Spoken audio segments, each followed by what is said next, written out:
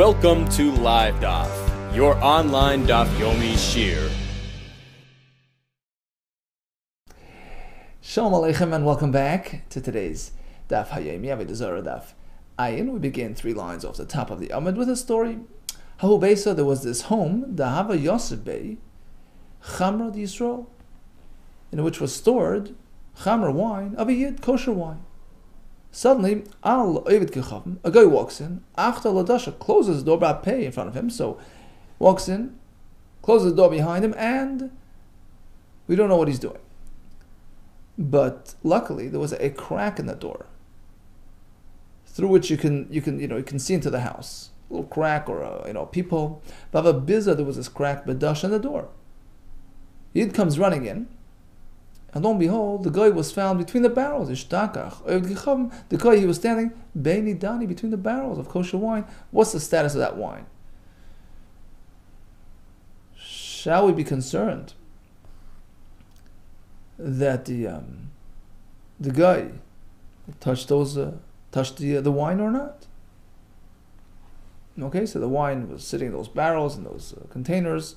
Apparently, they were uh, they were not sealed. Did he touch the wine or not? Amarava called the lahadi biz ashari. Any uh, wine which was positioned opposite, you know, in front of the, the crack of the door. So it would be noticed from the outside. Sorry, that wine is okay, because the guy would not dare touch that wine, lest he be picked up by the yid looking through the door. But the wine on these sides, off to the sides, the haggis off to this side, the haggis, haggis off to that side, usher because he may have tampered with that wine. And Rashi, by the way, says that we're going to have many stories coming up at today's daf with with a guy, you know, being found in close proximity to wine, etc. And the the Gemara will say in some cases it's it's mutter because there was some sort of you know deterrent factor at play which would dissuade the guy from touching. And in some cases it's asr. Rashi says the word asr means all the way af bahano. It's considered like like like gayish wine. Asr bahano. He may have touched. He may have you know, wiggled the wine and be menasich. And when we say mutter, it means you could even drink it. It's safe even for drinking.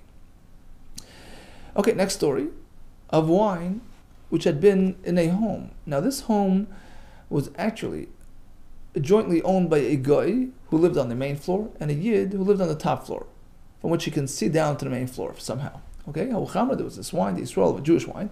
David Yosef Bevesa was situated in a home. David Dayer Yisrael in which there was a, a Yiddish resident on the upper floor, a guy on the bottom floor. Shama called Tigra. Suddenly they hear this uh, this fight outside. They both go running out to take a look. Nafki, they both uh, go out. And uh, who came back in first? The guy. The guy came in first, not realizing whether in fact he Yid had already returned or not. He walks in, he closes the door. Question is, what's the status of the wine? And the wine actually, says Rashi, was sitting betachtoina on the bottom floor. It was not under supervision, technically. But the guy may not have known about, you know, the whereabouts of the Israel. So Rabbi says like this: Amar Rabbi Chamra, the wine is safe. Shari, it's okay. Mema Amar, because the guy is thinking, I know, just like I came back in. Kadam Vasa Yisrael, the Yid came before me. He's already sitting upstairs. And he sees exactly what I'm doing. He wouldn't touch the wine. How was There was a story about this uh, hotel. So again, we have Jewish wine in there. We find the guy in between the barrels. What's the status of the barrels? If he, he, he wouldn't have any justification for touching the wine. If he was caught, he would be incriminated, like a ganab. Then he certainly wouldn't do it. Shari, the wine is okay. He wouldn't dare touch. But otherwise, if he has any sort of alibi for touching the wine, then the uh, the wine is usher. So uh, if uh, he's concerned about being caught, you know the uh, there's an active police uh, force with a good court system, so then he wouldn't touch it. Otherwise, you never know. Hobesa, once again, a story of a, of a room, where there was kosher wine. Ishtakach We find the guy between the barrels. I'm a Rava, same story. If he has some sort of uh, excuse why he's there, Chamra Aser, then the um, the wine is Aser. Because we assume, what's he doing in the room with the wine? Apparently, he intended on doing Nisuch. Okay, and he figures, I'll get caught, I'll explain myself, I'll excuse myself for being here. But if he has no reason to be there, Chamra Shari, the wine is deemed safe because he wouldn't dare, you know, uh, go in and, and, and touch the wine. There's no business being there, and then he's apprehensive about even being there to begin with. Certainly, he wouldn't uh, feel free to touch the wine. Maybe here comes a kash. The Brisa says, Nin, nin al. So again, we have this uh, road stop, this, uh, this motel, and there's wine in there, and the, uh, the door shut, and there's a guy with the wine. So the guy's inside the uh, closed room with the wine. Or suppose that the Israel asked the guy, you know, do me a favor, look after my wine. He'll come stand outside and uh, guard the, the, room to ensure nobody enters.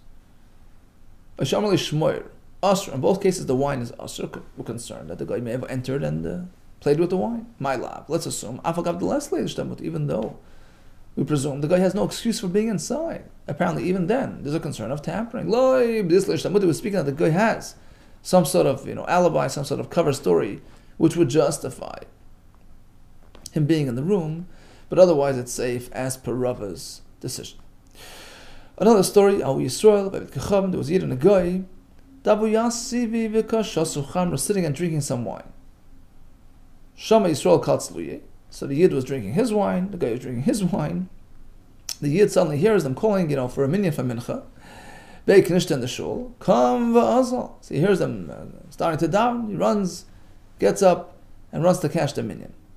What's the status of the wine he left behind with the guy temporarily? Amarava chamrashari, the wine is uh, permissible. Why? Mema amr, because the guy is thinking to himself, he's not going to last very long in the shul. As soon as you're recalls his wine, he'll be back. He doesn't realize what you know tefillah is all about. A goyish cup. Maybe is thinking to himself, "Hashta mitkad leilachamri." Certainly, sooner or later he's to recall his uh, abandoned wine. Vadarasa is to come running back. So his return is, is imminent. He's not to touch his wine for concern of being caught. Another story, a similar story, of Yisrael, with sitting on a, on a boat, and it was Erev Shabbos, Shama Yisrael, Kal Shipurei. Yisrael suddenly hears them announcing, them blowing the shofar, the alarm, the Shabbos alarm, the Beis Shimshi of uh, you know Friday afternoon. It's Shabbos around the corner, right? So he quickly gets up and runs into town. Nafak ba'azal. So he runs and he leaves the boat and runs into town. Once again, the wine that left behind in the boat is still okay. It's still safe. Why? Because the guy's expecting him back. The guy's thinking to himself, Leila Chamri, certainly, very soon he'll recall that he left his wine behind. Vada will come back to retrieve it. Shabbat. And the fact that it's Shabbos, ah, the guy's not thinking. That will stop the Yid from coming back. Why? Hama Rabba Rabba already told us that Amarli, so Rabba is relating that Isser, Giyura, Isser was a, a guy who became a Yid. His name was Isser, Giyura, a convert. So Rabba says that Isser once told me Interesting anecdote. Ki avinan bar when I was still a guy, Amrinan, we would think, we would figure amongst ourselves, ah, those Jews, they don't really keep Shabbat, they're not really religious. Yudai, the Yidden, Leimentary Shabbat, they don't really keep to their rules, they don't keep to the laws of Shabbos. Otherwise, where are, where are all the wallets in the street?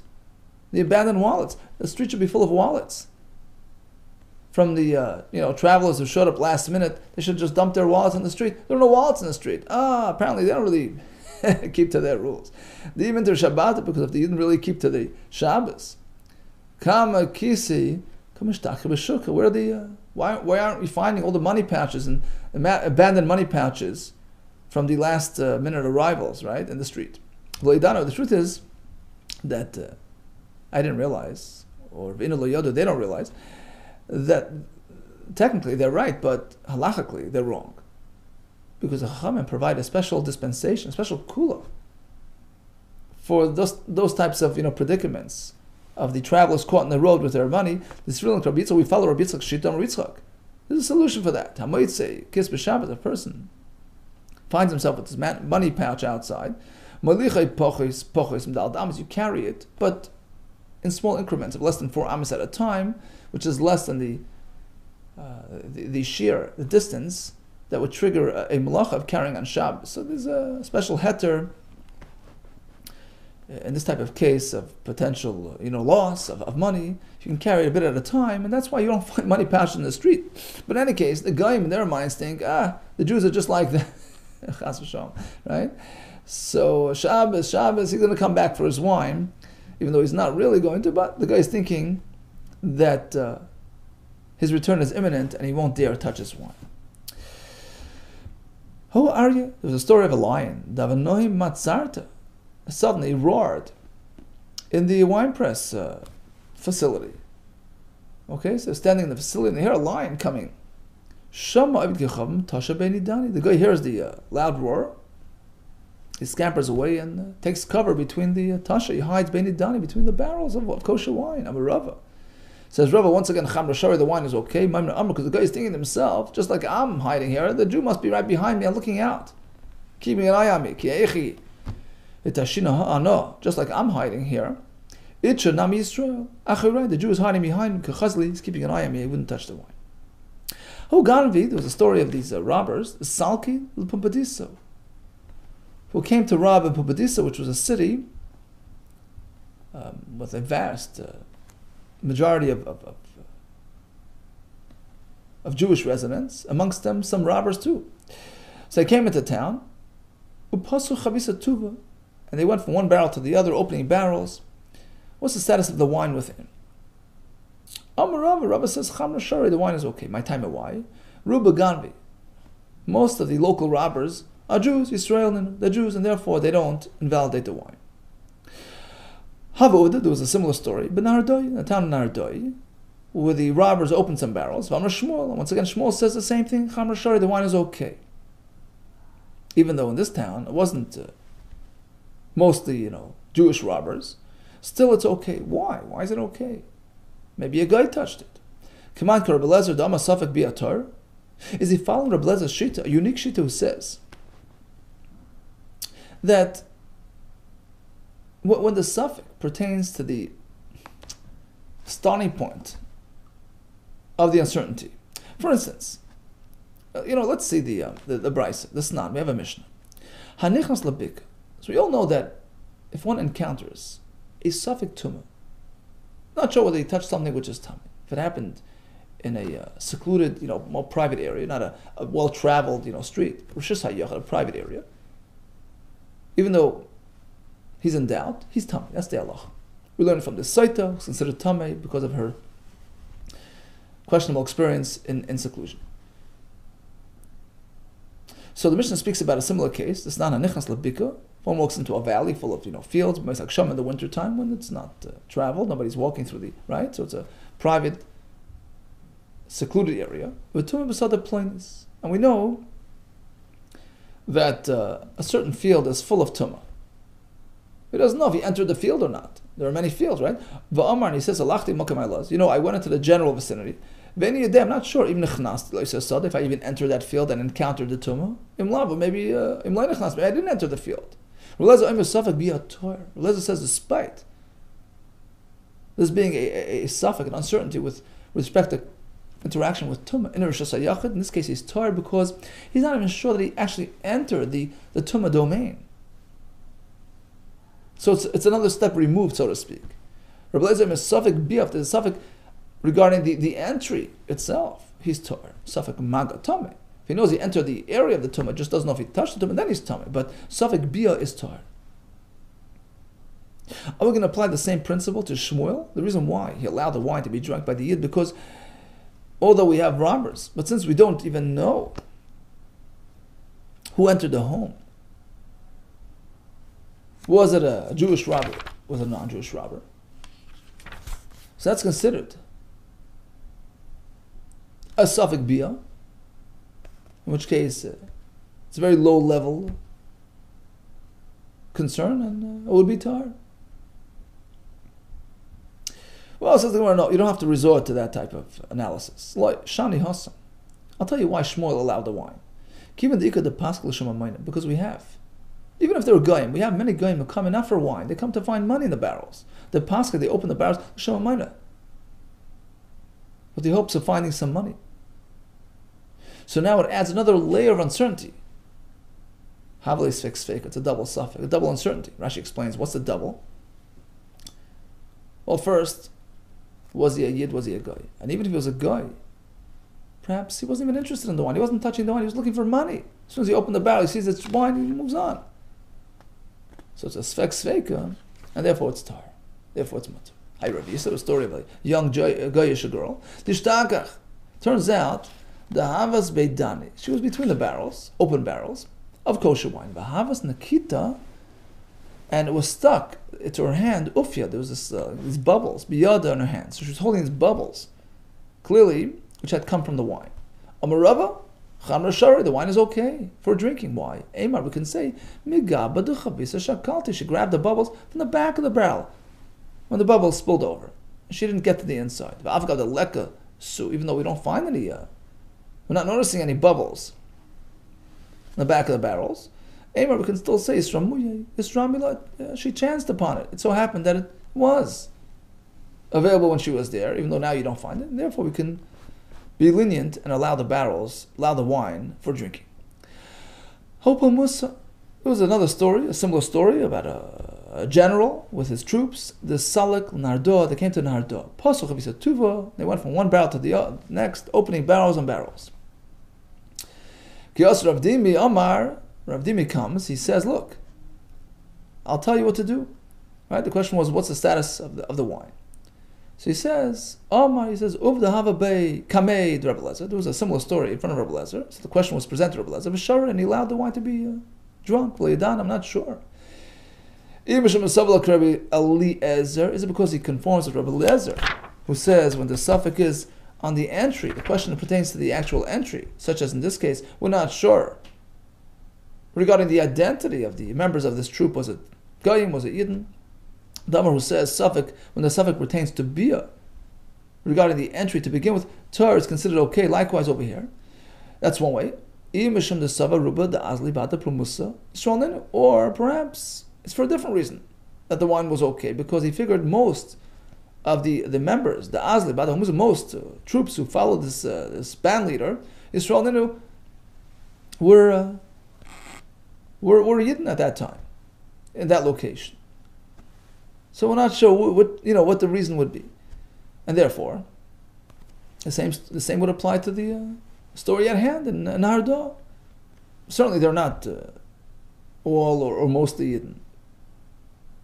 There's uh, an element of uncertainty in terms of the identity, the religion of the of the members of the of this troop. So, if the the reason to allow it is because of suffix bia tahar, the first approach, and that should apply in our case too, because there's a suffix as to who entered the home. Well, says the Gemara, actually not. They knew there was Goyim. There's no question as to whether there were Goyim. If that's the uh, equation. High suffix bia, why are you considering it a suffix bia? You're not sure who entered. You know who entered. They were Goyim, suffix mago. At most, it's just a question of whether they touched or not. Well, says the Gemara, no. Kiva miftachi tuva, since you, you see that they're doing something unusual they opened a large amount of barrels, way more than would, would re- be required for their drinking needs. So clearly, there's another agenda as well. Ema, we can certainly speculate, adata de paschu. They were looking for money. They opened the barrels with money in mind. Ukasavat be a dummy. So even if they were certainly Goyim,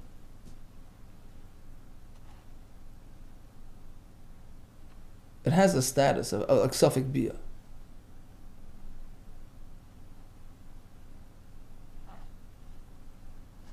Which means to say that we can we can apply a kula.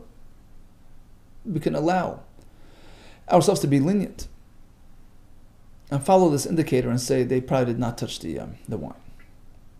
There was this Jewish uh, woman, this wine seller. It's called Misavisa, based on the pasuk Zoylel v'Soive says Rashi or Savich Mahal b'Mayim. Okay, so that was her profession. She was a, wine seller. The Mashra Iklida Maftecha Le'Vezkicham. So one day she decided to hand the key to her store to a guy, Geisha woman. No, what's the status of the wine within the store? Amr Lazar, no problem. Uvda Havabi Midrasha. A similar story was brought to the Chacham and Beis Hamedrash Amr. They said it's okay, like a because when she handed her the key, she only gave her Ella Shmiras Bavad. The mission was watch the key.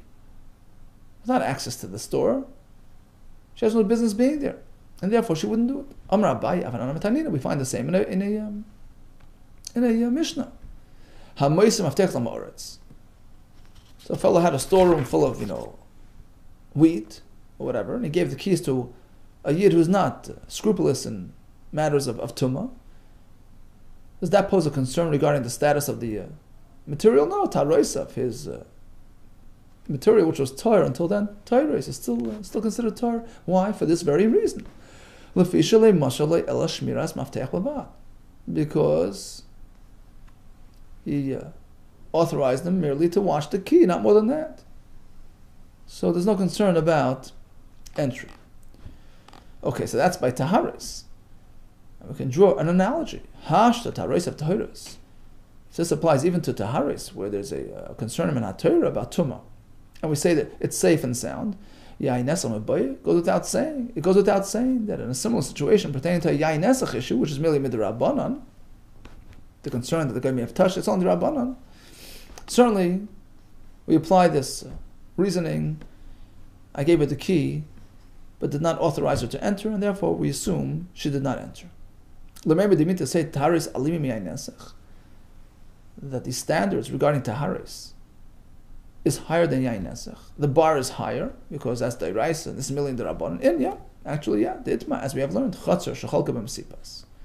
We have a story about a Chatzar, right? An outdoor, you know, like a yard jointly owned by uh, uh, an upstanding Yisrael and a neighbor who was uh, less than upstanding, you know, Yisrael and Amaretz, was not careful with the Taharis, etc. And they divided the uh, the chutzner down the middle, but Masipas just a little, you know, little lattice, a little, you know, divider. Now the the uh, the uh, chaver, the uh, upstanding Yisrael, had some uh, taharis, has some fruit, some wheat on his side. Amarav taharis of tmeis he has to consider them to be Tomei. Because uh, the Amoritz uh, may have uh, walked over the uh, barrier and touched the, tampered with the stuff, made it tummy. But, if his neighbor happened to be a guy, now there's a concern of Yain Nesach. Shall we be concerned that the guy may have jumped over the thing and touched the uh, kosher wine on the other side? Hey, no, There's no concern about Yain Nesach. So clearly, the standards are higher when it comes to taharis than yain which uh, is in line with our previous analogy. Okay, but in any case, let's just uh, shift over to this case and analyze. So we have this uh, joint courtyard. According to Rav, there's a concern that the Amoritz may have reached over and touched the taharis. Rabbi Yechon disagrees. He says the Amoritz certainly stayed on his side of the, uh, the court. Rabbi Yechon Amar after haris of taharis, on the other side considered tar, he wouldn't dare touch anything on the other side of the barrier. Meisve comes a kasha. On Rabu says, there's a concern about the Amorit tampering, stuff on the other side. The Brisa speaks about Hapnimiya shel chaver. We have two uh, properties, two chatzeros, two courtyards. The inner one belongs to the chaver, who keeps to the higher standards of, uh, of taharis, and the chitzoni, the outer one, which is open to the street, belongs to the Amoritz. So the chaver has to walk through the Amoritz to get to the street, but not the opposite, right? say chaver. So the fellow in the interior uh, courtyard is safe and sound in terms of his material. Nobody's going in there. You can uh, leave out his uh, his peres to dry. Leave his uh, utensils. Shalom Even though technically the Amoritz can reach in and touch, he wouldn't dare touch That's a kasha Rav who says that we don't trust the Amoritz. Amalach Rav, Rav will answer, Shani Hassam. You know why? In this case, the Amoritz wouldn't dare because if he does, he'll be caught like a Ganav, be accused of stealing. What are you doing sticking your hand in the other fellows? But when it's a level playing field, it's just a single area split down the middle, you know what? He may have, uh, you know, leaned over. And uh, he's not concerned about being accused of trespassing or stealing. To Ashmai comes another brisa. This time it's going to be a kasha Rabbi Yechanan who says the items are safe and sound. This time you have two rooftops side by side. The chaver's rooftop is actually a level higher next to the uh, Amaretz's rooftop, which is a bit lower. So can the chaver use his rooftop safely? Yeah, I say chaver Sheteach Sham Peres, Sham Kelim, leave his Peres, his Kelim, oh, provided, Bavad, that it's out of the Amoritz's reach. The Amoritz can't reach up and touch. Otherwise, there's a concern of tampering. Kasha, it's a Kasha Rabbi Yechon who says, we're safe. Ah, it's different. Shani Hassam, you know why it's different? When it's one, one rooftop net near the other, Dishlish Tamuti. Dishlish Tamuti, the Amoritz can cover for himself and excuse himself and say, look, I, uh, I had to lean over to uh, sort of survey my property. Meimar will say, Im Tzurik, Matsra, I was surveying, uh, you know, I'd like to have, have some construction plans and, uh, and, and, and, you know. So I was measuring the area, and that's why he ended up uh, he ended up halfway in the other fellow's roof. But typically, if there's no such uh, alibi, there's no concern. Tashma comes another kasha on, Rab, on Rav. Rav says there is a concern about tampering and, and overreach. This time you have two rooftops, but they're side by side on the same level. One belongs to the chaver, one to the amaretz. Also chaver, so the chaver is safe and secure in his property. Shetech sham peiros, he can leave his, leave his peiros, menech sham kelim in his kelim. Avabish yodesh lamaretz, magas sham, even though technically the amaretz can reach over and touch. That's a kasha l'Rav who says there's a concern. I'm not Rav, I will say you're right. This Bryce disagrees with me, but Lav Ika Rabbi Shimon Gamliel the Koi Kavasi. Recall in the previous Brisa, there was a Shimon who said that, um, yeah, the Amoritz's presence next door poses a concern. So I'm going like that. Shita, not the Amri. I hold, Kamshim Gamliel, that the Amoritz next door poses concern. Okay, so we had a daf, many, many stories. The underlying principle would be that if the if the guy is has no business being or touching the wine, being in close proximity to the wine, then he's deterred from doing so. He's concerned about uh, risking his uh, safety and well-being. I wouldn't touch the wine. We have cases where robbers were involved. So if it's uh, most likely a yid or there's uh, all kinds of uncertainties, then we would demate the wine as well. And we had an interesting point that handing of the key does not denote authorization of access, in which case the, uh, the content inside, whether it's wine or tahara, is considered safe. An interesting machlek is regarding an unreliable next door neighbor. At what point does he pose a concern? We have a machlekes Rav, who's more concerned than Rabbi Yechon, who says, well, typically a fellow stays to his side of the uh, of the um, of the border. All the best to you and Atzlocha Rabbah.